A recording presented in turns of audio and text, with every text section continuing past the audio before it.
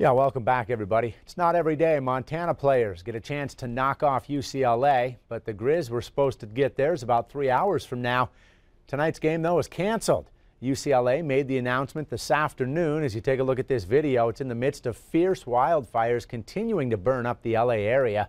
Additional fires broke out early this morning, including one just miles from UCLA's campus that shut down parts of the 405 freeway. Thousands are still being evacuated. UCLA's statement today read, quote, the health and safety of student athletes, staff, and fans is our top priority.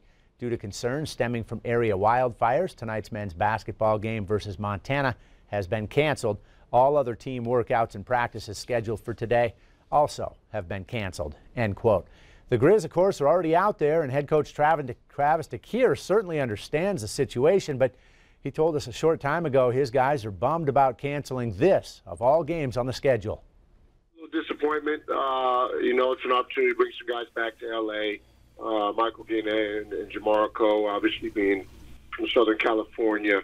Uh, and it's actually our one crack this year at a top 25 team. So uh, we'll see what happens. We can find a way to match our schedules, still make it happen. We look forward to that, but we just we just haven't gotten that far down the road yet.